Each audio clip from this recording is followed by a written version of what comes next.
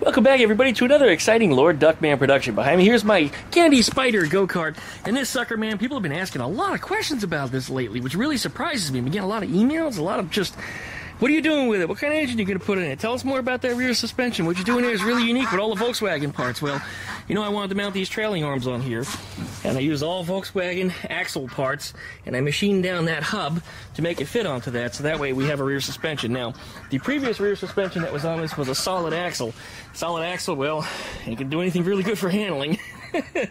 but anyway, now it's going to have an independent rear. That's the goal here. I did a little cutting and cut one of these pieces of the frame out. That way I got it lined up. And the way this trailing arm lines up, it'll actually catch one of the stock mounts for the old single axle trailing arm. And it needs a new mounting bracket here. So what we're going to do today is we're going to try to take some measurements on that and see if I can fabricate some mounts. And once we got the mounts fabricated, of course, then we'll weld them on, but we'll see how much of that happens in this video. But do you know where I go for all my small engine parts needs? That would be none other than the HIPA store. The HIPA store is the place to find parts for all of your outdoor power equipment. Whether you have a lawnmower, chainsaw, generator, and heck, it's even the season for snowblowers right now. The HIPA store is who you need to keep your machines running tip top. If you've never shopped with the HIPA store before, well, you should. Not only do they have quality replacement parts for all of the leading brands, but the HIPA store is currently running a promotion for new customers. To you, that means free stuff! So hit up the website and spin that wheel. You never know what you're gonna win for free! I got new goggles. So please, check out the HIPA store from the links down below in the video description. Know that when you support the HIPA store, you support the creation of my new YouTube videos. Special thanks again to the HIPA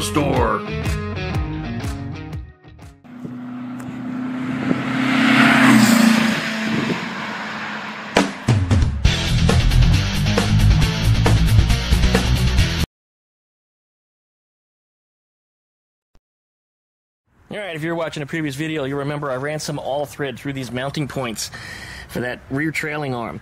And that gives me something that's straight. So I know where my approximate mounting point location is going to be. Now I want to make this hole slotted so that way when I put the trailing arm on, if it needs any alignment adjustment, it would be as simple as loosening the bolt and pushing the arm forwards or back. And what I'll do is I'll put a chain tensioner on it also, which is just simply a washer and a bolt that goes this way, so I can lock it down into place. So I'll fabricate all that stuff up. It'll be all part of this little project right here. But meanwhile, looking at the end here, you can see I need a triangular bracket with a slotted hole. You can see I've put this yardstick on here to give me a pseudo straight edge. Gives me an idea as to how far down I want to be, and I'll check it just to make sure it's level with the frame. And then I will build off of this, and this is how I want to have my slot leveled to that. I discovered that the trailing arms on these suckers, they sit relatively level.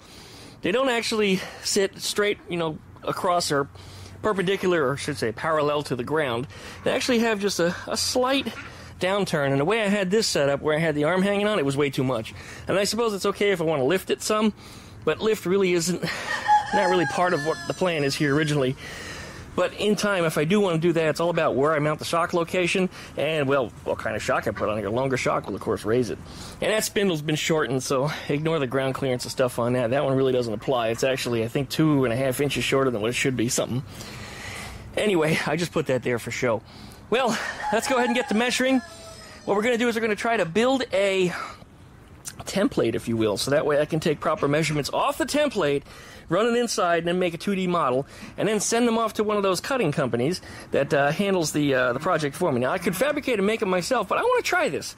I've never taken the approach and made a model for it and sent it off, and that also means that things have to be very exact, and I have to get it right the first time, because once it the piece comes out here, I got very little wiggle room. Unless, of course, I make it a little big. I suppose then I could just trim it down and make it work. But typically, when I do things here, it's uh, snip, fit, snip, fit, snip, fit, snip, fit until finally it goes in. It's just the way it is. It's the nature of the beast. Now, a lot of the things that I do aren't always reproducible the same way. It takes a little more time that way. But I'm also not making things for the uh, mainstream release. You know, I'm not building a fleet of the same thing. Everything I build is a one-off, so that really didn't matter. But like I said, I want to try something new. And I'm noticing there's a rat hole or something over here. Look at that.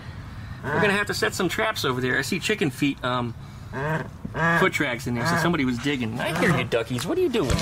What are you doing over there? Anyway, let me have a seat over here. We'll get the camera on it, and you guys can see, well, me building a model. Here we go. All right, in short, those are the measurements I took, and uh, I'm not too confident of my measuring what happened here because everything was kind of free-handed. Didn't have a straight edge on it. I was just holding things, and yeah, anyway. I'm just not happy with the way that turned out, and that's when I decided I'm just going to make a model. I want to see it fit. I want to see it work. Then we'll take the measures off the model, and then we'll we'll make a, a 3D digital model out of it, if you will. Well, I'm going to use a piece of cardboard, and the back of this notepad is actually the perfect cardboard for that to make a template. Now I've got two straight edges. This one is going to be the one that we slot the hole off of. This one is the longest edge of all. So I'd like to line it up with that and then draw a line along this see what I can do with that. Okay. Guess I need to measure the distance from the edge to here. That way I can punch a hole in this. Start making some cuts. Alright, I think that's what we're going to do. Alright, shorten that up a little bit. Boomer came over to uh, play with me. He's actually humping my shoe. But, you know, that's what ducks do. I think that's about how we're going to do this kind of like that. That tells me where my hole is going to be. How about that? What we'll do is we'll razor that out and then I'll slide it over this, I'll wind this back out, I'll slide it over it, and then start making my lines. This here, because I don't have a proper table to cut it on out here, I have to be extra delicate so as to not stab the shit out of myself or stab something behind the blade and dull the blade out. There we go, that actually didn't work out too badly. And I'm sure there's a million better ways to do it, and I'm sure everybody down in the comments has already told me so. Everybody knows more than I do, you know how that goes. Alright, I think that's pretty good right there. Although, I wanted it this way, didn't I? Yes, just like that. Okay. And this is all thread, as I had mentioned before in the video. So what that means is that this, it's just a little snug in the mounting point, so that's what it takes to adjust it. That's pretty clever, Duckman. And there it is. I'm just going to lop this corner over. It's hitting that fender. I don't mind if this is a little long. In fact, you know what? That actually might have been ideal had I have made it longer to begin with. I brought it to about the middle of this because then there's always a little meat to cut off of it. So you know what? I'm going to call this failed. And we're going to do that over again. All right, well, one more time here. a little more. We're dealing with the bipolar Florida weather right now. This week it's been in the 40s all week long. It was just cold out with the wind blowing, and here it decided to try to rain on me today. And uh, it's about 75 out here and it's really balmy and just gross. Really gross. Okay, well, we're going to bring this, like I said, to the middle. Well, right about the middle, maybe just a little bit beyond it. That's fine because I might find myself trimming these. In fact, I probably will find myself trimming these. So we'll cut a new hole right here on this bolt. There it is. Alright. And I know I can fold the cardboard over and I can cut it out with a scissor. But I don't want to have a fold in the template. That to me is just sloppy. It's gonna be a little awkward.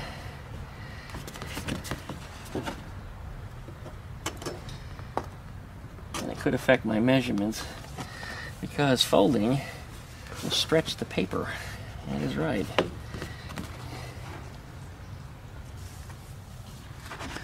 You're cheeky digging next to me. In fact, all the chickens are around me right now. They're all minding their business except for Biddy, who keeps screaming his ass off. Alright, that's much better. Alright, we're to call that the hole. Wherever the hell my pencil is at here. That's our hole. Okay. Now we'll lop this corner over as we did earlier. Set it up like that. Probably should have put this down a little further. Anyway, now we can get around the back here. And I should be able to make a marking where our straight edge is supposed to be. We'll cut that out. This is a dimension that's kind of floating in space. This one doesn't really need to be so exact. Alright, where's our... There it is. And this one doesn't actually attach to anything, it's just floating in space, so that's okay right where it's at. Now this hole, I want to keep it about an inch plus or minus in either direction. That's going to give us our alignment. Although coming off of this, it's probably not going to need very much. It'll probably way less than that, but I figure I might as well maximize to whatever that rubber bushing that's in the other end allows me to give it, because each one of these, yes, does mount in a rubber bushing. Okay, so that's looking pretty good right about there. Now, assuming about an inch, looking here, that's about an inch, that's the end of our hole. And I'll measure that out just to be sure, but that's going to be our slot. So, freehanding all this stuff, yeah, I know. We'll straight edge it out later. Fact, you can see it's not even straight right now. No, needs to go over this way.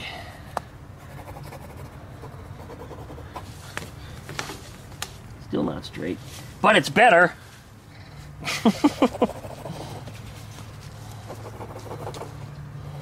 Hi, Cheeky. Alright. Alright. Uh, much better. Still, we're approximating. Okay. Now, the last line is going to be one that goes like this.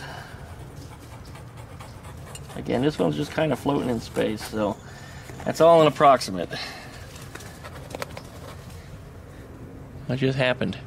Now the chickens are just playing. Alright. Just kind of bringing it around like this.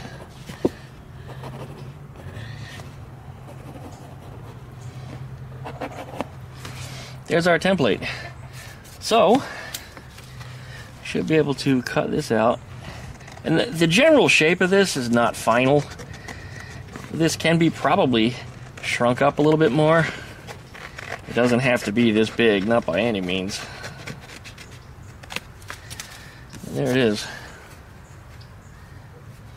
I feel much more confident now that I've actually made this versus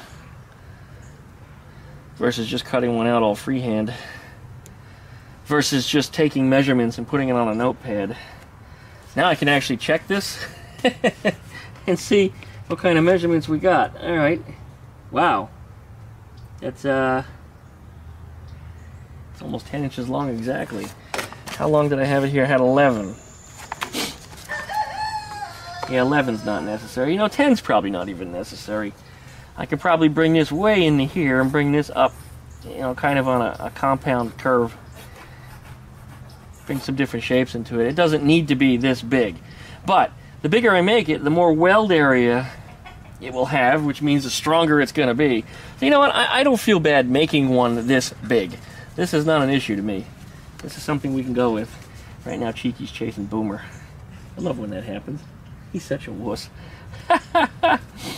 Alright, so we're going to cut out the rest of this slot. Just make sure that it is level compared to the straight edge before we do. So I'll take a measurement here at this corner and a measurement here at this corner. This is my angle finder, by the way, which turns out we're going to need that when we make our final model. But it also has a ruler on the end of it. Alright, what's our last marking? Is 7. So we are 2 and that's exactly two and a half. How about to that side? Two and a half. Actually, I squared that up pretty good. But again, you know what? I do have a little bit of fluidity because it doesn't have to be mounted exactly like this or exactly like this. It, it can be can be played with a little bit in there. So anyway, that's that's my model. Okay, good. Let's get the sucker cutted here. Cut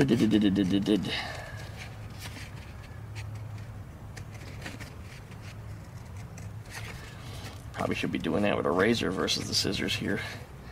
Scissors kind of making a mess.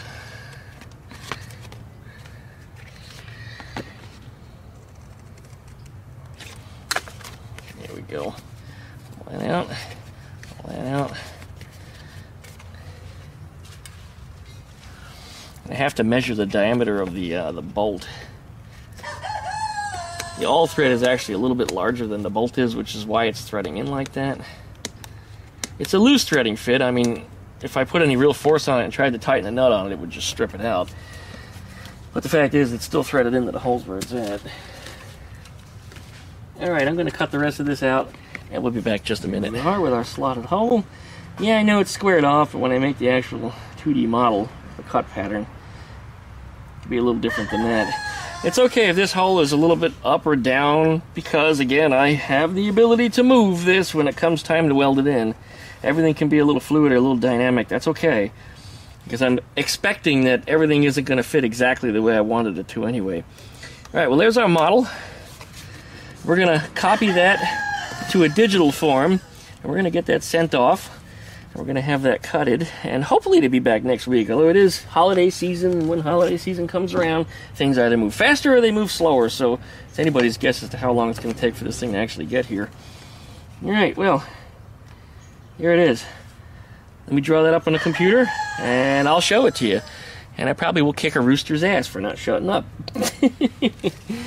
and just out of curiosity, what was my angle on this here? I want to check that. I had uh, about 70 degrees when I freehanded it. What happened? Oh, it doesn't go that far. Because it goes the other way. I was folding it the wrong way. This is not a tool I use this often. I actually got it when I was doing Eleanore's doors because I wanted those slanted pillars to be even on both sides. And what's funny is the pillars actually fell even just because of the lengths in which I cut the roof. Okay, where are we at? We are at, looks like it's about 73 and a half. So 70 was pretty close. Not bad for a freehand. I probably could have pulled it off with 70, I think. And there it is. Okay, this is going to be something. This is going to be something. Daddy, I'm going to grow up to be a real go kart. All right. Well, I saw Cheeky over here a minute ago. I got a feeling she escaped. Yeah, I just saw her. She was chasing Boomer, and I think she chased her, chased him through the fence. You better not leave me. You leave me, I would be heartbroken. Cause you're my little girl. Yes, you are. Burk, burk, you too. Where's Boomer? There he is. You did chase him. That's the reason why you're out here. I've never seen you escape before, ever. No, it's not your personality. Go ahead, go back in there. I'm gonna close the fence. Don't need any more. Ah, she's chasing him again. Don't need any more animals running off. I already had my heart broken two years ago when Crash disappeared, and yeah, that was a bad day. But had it not been for Crash disappearing, I never would have adopted her mother. But that's when her mother decided to move in. Where is Mama right now? Where is that mama bird? That's her granddaughter. That's her daughter daughter with Biddy. There's Mama. There you are. How you doing, girl? She's growing all new feathers. She's getting over being sick. Yeah, she had a little problem. Laid an egg inside of herself, and for those of you that know chickens, when that happens, they can end up with an infection. And she didn't end up with the infection, but she had all the other symptoms that go with it. But she seemed to survive it. She's doing better. She's eating again. And now she's molting and getting a brand new set of beautiful feathers. And you can see all of her colors starting to come out on her. Now she's a real pretty girl. She was looking really ratty there for a while. In fact, she still looks pretty bad, but she has like no tail left. all right, good girl. You too. Yeah, I know. And they picked my plants clean. Look at this. They've been eating all the leaves off of it. Well, this is the season where they lose their leaves anyway, but yeah, these chickens just love their leaves. Who wants a leaf? You want one? There you go. I'm sorry. Your sister ate it. She did, she ate it. you got a little red on your head. That's new. Never had that before. You got little red feathers on your head. Used to just be gray. Let me see you. Come here. Let me see this pretty girl. Yeah, you see little red feathers on top of her head? That's new. She didn't have that. I mean, not even a couple weeks ago. Well, she changed color. I wonder if that's a seasonal thing, or maybe she's just. No, she's almost a year old. She'll be old, year old on uh, on New Year's Day. Oh, don't knock that down. You almost killed your sister. Look, look at all the leaves in here. Come here, look. Eat the leaves, look. Okay, you're going the wrong way. Really don't want you over there. I want you jumping the fence next. Although that nasty dog isn't over there anymore. No, I don't know what happened. It was there, and then it wasn't, then it was there, and then it wasn't. And now it's completely gone, so. Jump. There's my body dolly, which I stood it up to try to get it out of the way to save some space, and it's kind of collapsing. and all these pine needles, man, all these pine needles, a lot of this stuff's going away. You know why? Because the trees are going away. Duckman's getting a solar kit. Yeah, we're solaring this house. Gonna try to save on my power bill, and I like the technology. I needed a new roof and stuff anyway, so that's what we're gonna do. I'm sure now a million people are telling me why I probably shouldn't. Or maybe they're telling me why I should, or maybe they're asking me how much I paid, but I'm, we're not gonna get into any of that until it's done. I wanna see what actually happens here. But, two trees, they're gonna go. These two trees gotta go. This one can probably stay, because the panels are all gonna be down on that end, because the sun, it arcs through the sky over there. So there's no sense in taking out those trees. And these are my work shade trees. I would really like to keep them if we can. If they take off one branch or something, I'm really am not going to cry about that. But when the sun gets beyond that point anyway, I mean, these are my neighbor's trees. You can't, you can't cut those. They got to stay. They might trim that one, but I don't know. We'll see. We shall see. All right, well. All right, let's get to making that model. Hey, Mama Bird. You know, I had a little dream about this last night that one of my friends who had a, a, daughter, you know, about three, four years old, it might have been Ranchero, I don't remember, but it was in the dream. She came over to this and she started jumping up and down on it, which was more resilient than I would have expected because, well, it'll flex if a kid gets up on there for sure. But it screwed up my straight edge anyway and ruined the video that I was trying to record at the time in my dream. So, anyway. All right. Yeah, let's get started. Well, I got in just in time. It got pitch black out here and started raining. I even heard a little bit of thunder. That's why I was coming outside here. I was hoping to catch a little bit of it on video. But anyway, good thing is, the rest of the video is uh, all inside work where I get to sit at the computer. the wind must have been blowing real bad. I'm seeing all kinds of debris on the neighbor's roof. I just saw lightning. There's all kinds of like white things up there, which I don't even know what that is. And my plants are all flipped over out back. Yeah, there's the thunder, but it's kind of distant. There it is.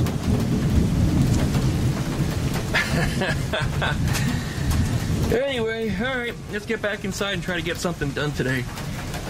Alright, we're back, and you're probably not all too surprised that it's raining outside. Well, I went and I rendered this one that you see right here doing a little drawing using a program called LibreCAD and I felt like a complete idiot using this software. I wouldn't recommend it to anybody that hasn't used CAD before. I've used CAD, it was 20 years ago. I was doing CAD art. I wasn't doing technical drawing, so it really didn't matter the measurements and dimensions of things. It just depended on, you know, what looked good. And this just, man, I don't know. LibreCAD sucks, but I was able to make a drawing, and I was able to get it to scale. It's to scale on my screen right now, so you notice it, it fits right in there like it should. Now you might notice that my slot is crooked, whereas the slot in here is straight. That's because I cut my slot crooked. That's my fault. The center point was correct though. So this is correct, because this is technically 90 degrees off of everything. It's, it's, yeah, it's straight. So anyway, that works for that. I went and I priced that to find out what it would cost, and it was about 60 bucks to have four of those uh, cut for me and sent back. And I said, you know, why is that? It's because it's so big. So I did a version 2.0. There it is. You notice everything still lines up. We got our slot lined up, and what's most important is this corner right here lines up with that slot. And that's where we're at. So version 2.0, it's nicer looking. This is a big heaping mess of shit. This thing actually looks good and resembles the other pocket that's already on the uh, the cart towards the center where the old trailing arm used to mount. So this works good. So what we did was we went and we uploaded it. Boom, boom, there it is. We picked our metal, We chose steel. We went with um, just mild steel. It's uh, three millimeters thick, aka eighth of an inch. That's what you're looking at here. And for four of them, we're looking at dun, dun, dun, $30.92. And I believe that's including the shipping getting them sent to me. So for 30 bucks, $7.50 each. Or 7.73 it says. I'll have those made. There they are. Want to see it in 3D? Look at that. Oh, woo! So anyway, I'll have these uh, cut out and sent back to me, and uh, hopefully next week I should have them back because they're pretty quick about this from what I understand. So we'll see. Anyways, I guess that's going to end up the video. So licky, like it, comment, and subscribe. Don't forget to pluck that dingle belly so you get updates every time I upload a video. Check out duckshit.net for all of my different social media links. And, uh, well, I guess that's it for today. So thanks for watching, and we'll see you guys next time.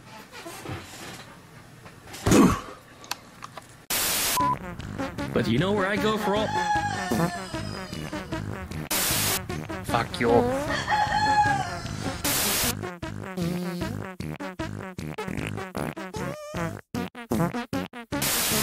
Welcome back, everybody, to...